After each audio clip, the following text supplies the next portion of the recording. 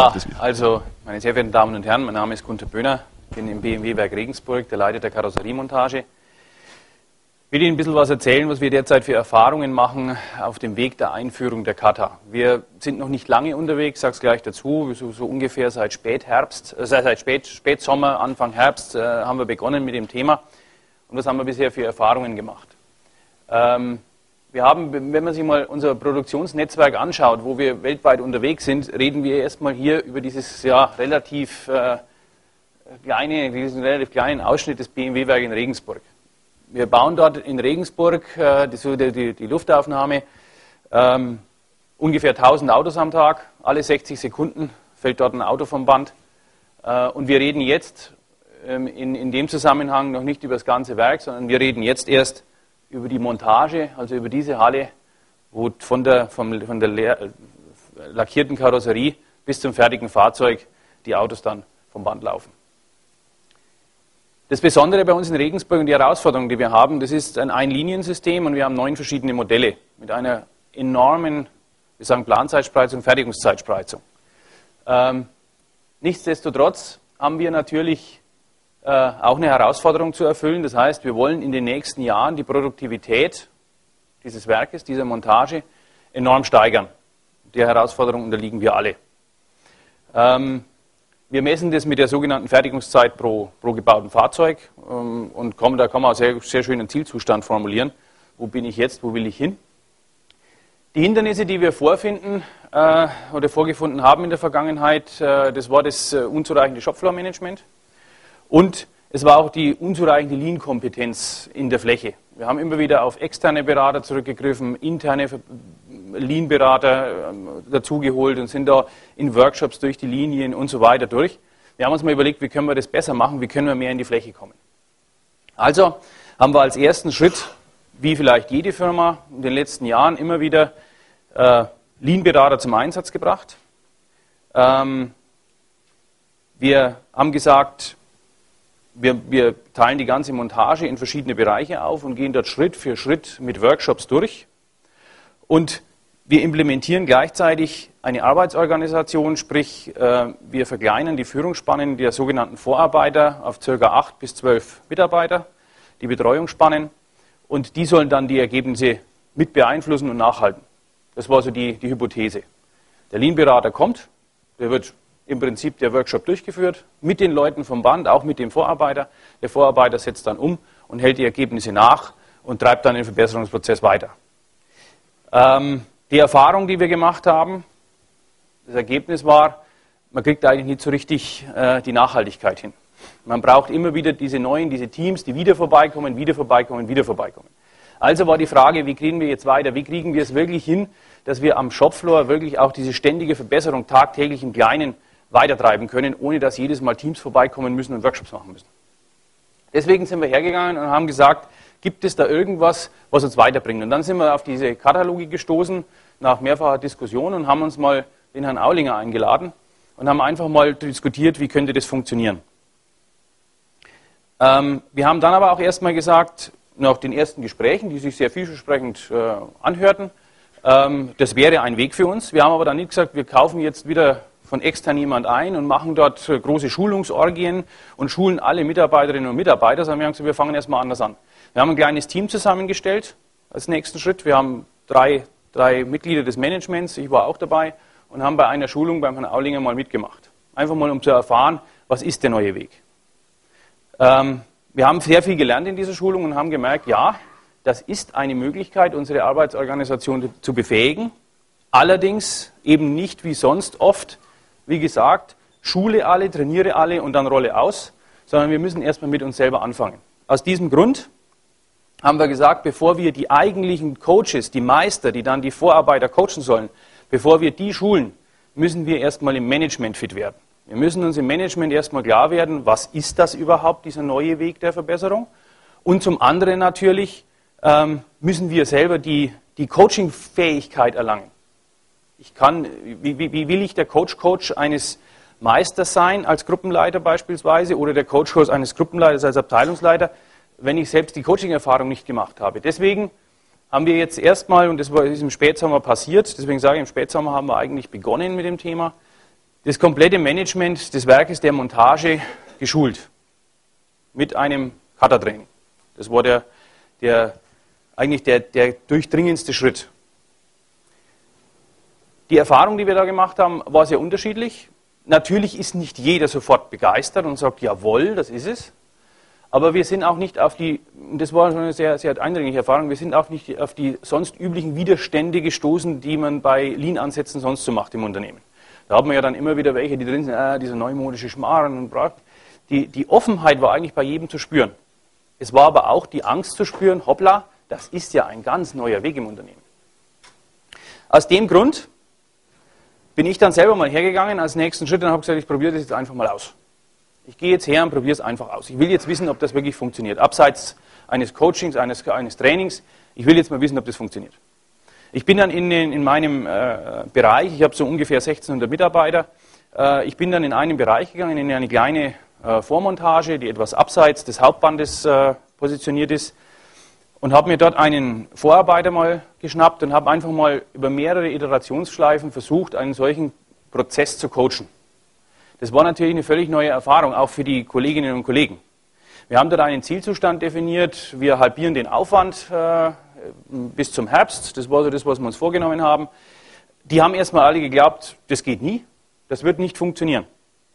Das, das ist unmöglich. Und auch dieser direkte Durchgriff auf den, auf, den, auf den Vorarbeiter, das war was ganz Neues für die. Die, haben, die waren ja gewohnt, da kommt das Management, äh, gibt ein Ziel in Zahlen vor und kommt dann, wie wir es vorhin gehört haben, alle zwei, drei Wochen mal vorbei und lässt sich präsentieren, wo die denn stehen. Aber dieser neue Weg, dass da jemand täglich zehn Minuten vorbeikommt, keine Ahnung hat, was in dem Tag vorher passiert ist, was der, der Vorarbeiter für Fortschritte gemacht hat und sich dann eigentlich abholen lässt, was hast du gemacht, wie weit bist du gekommen, was hast du gelernt, das war völlig neu. Und diese anfängliche Skepsis dieses Vorarbeiters, der gedacht hat, naja, nein, also jetzt waren sie wieder auf einer Schulung und jetzt werden sie wieder was ausprobieren, diese anfängliche Skepsis ist sehr schnell einer wahnsinnigen Begeisterung gewichen. Wir haben jetzt das Thema umgesetzt, wir haben den Aufwand, also der Vorarbeiter mit seinen äh, Mitarbeitern in dieser Vormontage hat tatsächlich den Aufwand halbiert. Die Fläche ist auf ein Drittel zusammengeschrumpft, ohne irgendeinen Lean-Coach dabei. Einfach nur im täglichen Frage- und Antwortspiel ähm, hat er sich dazu selber befähigt, das so hinzukriegen. Es kam automatisch die klassische U-Form dabei heraus. Automatisch. Der hat vorher noch nie was von der U-Form gehört, von der U-Zelle. Die kam dabei raus. Was ich aber auch gemerkt habe, und das war auch eine ganz große Erfahrung für mich als Coach, die wir natürlich jetzt in die, in die weitere Rollout bringen. Es ist hilfreich, wenn ich als Coach eine gewisse Lean-Affinität und Lean-Kompetenz mitbringe, weil ich dann schon weiß, ob diese Leitplanken, die wir uns da setzen, ob die weit genug oder, oder ob die zu eng sind. Aber es ist auch eine große Gefahr. Sie werden sehr schnell ungeduldig.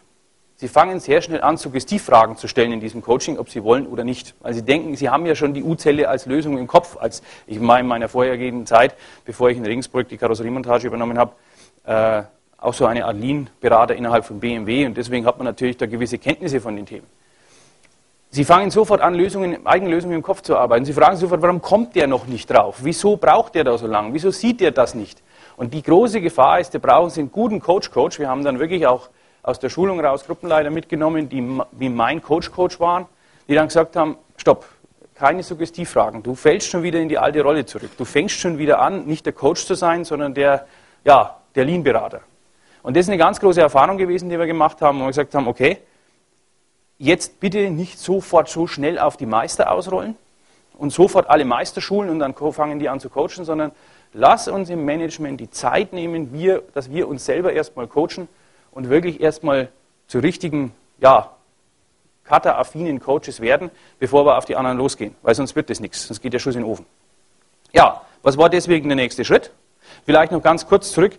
Äh, die Motivation von dem Mitarbeiter ist mittlerweile so groß, äh, der sucht sich schon wieder neue Aktivitäten in seinem Umfeld. Der geht jetzt die ganze Logistikzone an und möchte die auch verbessern und er möchte da im Prinzip weitergecoacht werden. Weil er hat da so viel Selbstvertrauen jetzt gewonnen, ähm, das hat ihm, macht, hat ihm sichtlich Spaß gemacht. Und auch der ganzen Mannschaft, die dabei war. Deswegen haben wir gesagt, wie gesagt, jetzt nicht sofort Rollout auf die Meister, sondern der nächste Schritt war jetzt, äh, wir müssen Lerngruppen auf der Management-Ebene bilden. Wir müssen Lerngruppen bilden in diesem Zusammenhang, wo einer mal der der ja, Mitarbeiter ist, einer ist der Menti, einer ist der Coach und einer ist der Coach-Coach. Und diese Rollen wechseln in diesen Viererteams ständig durch. Ähm, wir haben gesagt, wir wollen uns täglich treffen. Wir haben da feste Termine im Terminplan geblockt, wirklich. Wir haben äh, im Rahmen der, der Vorortzeit, äh, haben wir gesagt, wo wir sowieso jeden Vormittag zwischen 9 und 11 Uhr sind, ist das Management sowieso in keiner Besprechung, sondern komplett am Band vor, vor Ort. Ähm, und da haben wir gesagt, dann nehmen wir uns eine halbe Stunde und jeder kriegt ein kleines Projekt, wo er einmal Mitarbeiter ist, im anderen ist er dann Mentee, im anderen ist er Coach und dann Coach-Coach und die Rollen tauschen durch. Und wir coachen uns so da gegenseitig. Das Thema an sich war völlig egal. Es ging nur wirklich diese Frageroutine, diese, diese, diese fünf Schritte äh, Frageroutine einzuüben. Das war eigentlich das Ziel des Ganzen. Das läuft auch derzeit. Das Problem, das wir mit dem Zusammenhang, in dem Zusammenhang jetzt haben, ist ja dennoch das typische Managementproblem. Sie kriegen diese Lerngruppen nicht jeden Tag zusammen. Da ist dann doch mal ein Mitarbeiter, der auf einem Workshop ist. Da ist dann mal einer aus der Lerngruppe, der muss nur seinen Resturlaub abbauen. Dann ist einer in der Lerngruppe, der hat, äh, ist in einem anderen Werk unterwegs, der muss sich äh, um die Produktentstehung mit kümmern. Also sie tun sich relativ schwer auf Management-Ebene, diese täglichen Coachings wirklich so durchzuziehen, äh, um, damit auch ein Übungseffekt dabei rauskommt.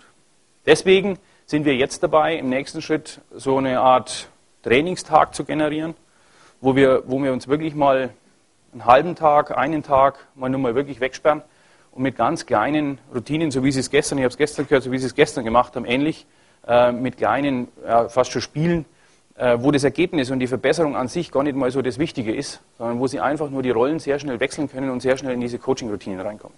Das wird der nächste Schritt sein, das wir ausprobieren, einfach um sicher zu sein, dass wir immer besser werden. Ähm, der nächste Schritt wird dann sein, das haben wir uns vorgenommen, ungefähr bis Weihnachten. Wir wollen bis Weihnachten so weit nochmal kommen, dass, die, dass das Management wirklich äh, fit ist in den Themen. Ähm, und wollen dann so ab nächstes Jahr, Januar, Februar, wirklich auf die Meister das Thema ausrollen. Das heißt, dann erst auf die Meisterebene gehen und äh, die Meister mit ins Boot holen, die ja die eigentlichen Coaches werden sollen für die Vorarbeiter. Das Ziel des Ganzen ist es wirklich, dass wir im Unternehmen, beginnend jetzt erstmal in der Montage in Regensburg und an anderen Standorten, ähm, dass wir im Unternehmen wegkommen von dieser Haltung, wir arbeiten jeden Tag äh, vor uns hin, dann kommt eine Lean-Truppe, die verbessert dann was mit den Mitarbeitern, stellt dann auch was um und die geht dann wieder und wir arbeiten weiter und sind froh, wenn der, der Zustand nicht zurückfällt. Da wollen wir weg, wir wollen hin dazu, dass die Vorarbeiter selbstständig jeden Tag immer wieder kleine Schritte tun. Immer wieder dranbleiben, immer wieder aus Eigenantrieb raus die nächsten Schritte der Verbesserung gehen. Und zwar kontinuierlich mit der Unterstützung ihres Meisters, ihres Coaches, der dann auch wirklich mehrmals am Tag vorbeikommt und wirklich immer weiter coacht, coacht, coacht, bis wirklich dann bahnbrechende Ergebnisse dabei rauskommen. Das ist das Ziel. Wir haben gelernt, einen schnellen Erfolg gibt es nicht. Also so diese, diese Ansätze, die man dann oft sehr gern hört in, in äh, dieser, in, in unserer Return of Investment orientierten Denke, es gibt ein Programm, wir schulen alle, da gibt es einen Terminplan, wenn alle, bis alle geschult sind und dann gibt es vielleicht nochmal hinterher ein Review und ein Coaching und dann gehen wir in die Fläche und dann tun wir das. Das funktioniert bei Kata nicht. Das funktioniert nicht. Wir haben gelernt, die Einführung von Kata ist ebenfalls Kata, also schrittweise. Ähm, Sie müssen sich wirklich auch aufs Scheitern einlassen. Also Beispiel, Sie müssen, äh, müssen lernen, ähm, solche Lerngruppen jeden Tag, das funktioniert einfach nicht so, wie Sie sich vornehmen, auch wenn Sie es noch so, so wollen. Sie lernen dran. Sie müssen aber dann einen Schritt wieder zurückgehen und sagen, was kann ich denn tun, damit es funktioniert. Auch das ist es. Und vor allen Dingen, wir haben auch gelernt, und das ist ein ganz entscheidender Faktor, je kürzer die Zyklen sind, in denen Sie coachen, egal worum es geht, je kürzer die Zyklen sind, desto schneller kommen Sie zum Erfolg. Also auch das ist eine ganz andere Denke wie in der normalen Managementwelt. Ähm, Ziel formulieren, Terminplan aufstellen mit Schritten und irgendwann mal jede Woche Reviews und wie gesagt sich berichten lassen. Das funktioniert bei Kata nicht. Sie müssen das kürzer tun. Ähm, und was, was die große Herausforderung natürlich der Zukunft sein wird, wenn wir das einführen wollen im Unternehmen, und wir haben es uns fest vorgenommen, im ganzen Unternehmen, im ganzen Produktionsressort bei BMW eigentlich den Schritt zu tun. Die große Herausforderung wird sein, wir haben natürlich herausfordernde Ziele. Äh, für nächstes Jahr, für übernächstes Jahr. Kata braucht aber Zeit. Das heißt, Sie haben im Moment die Situation, Sie haben, wenn Sie den großen Aufwand haben, die Ziele zu erreichen, haben Sie noch einen sehr großen Ansatz der herkömmlichen Vorgehensweise. Den müssen Sie einfach haben, weil sonst, wenn Sie die Ziele nicht erreichen, dann ist das ganze Thema durch. Äh, und Sie müssen das Thema mit dieser neuen Art des Coachings langsam wachsen lassen. Und das wird die große Herausforderung sein für die Zukunft, ähm, dass wir im Unternehmen die richtige Geschwindigkeit finden, wie wir dieses neue System einführen. Wenn wir zu schnell sind, wie gesagt, da bin ich fest, fest davon überzeugt, dann wird es nichts, dann wird sich das System totlaufen. Wenn wir zu langsam sind, dann werden uns die herkömmlichen Arbeitsweisen wieder einholen und jeder wird sagen, der schaut her, wir erreichen ja die Ziele auch so, er braucht ja das gar nicht. Und äh, da wird es sehr stark darauf ankommen, dass wir uns einschwören. Ich bin mir sicher, im Werk Regensburg haben wir von der Führungsmannschaft her die äh, wirklich Top-Voraussetzungen, angefangen bei unserem Werkleiter, äh, beim Dr. Wendt, der über den Montageleiter, ähm, bis hin zum mittleren und, und, Management und zu den Gruppenleitern, die alle vom gleichen Mindset geprägt sind. Das äh, ist eigentlich, Herr Aulinger, Sie haben es erlebt. Ich glaube, da, da, sind wir auf dem, auf dem, auf dem richtigen Weg. Äh, wie gesagt, ähm, mal schauen, was wir in der nächsten Zeit für weitere Erfahrungen machen und wie es uns dabei geht. Vielen Dank.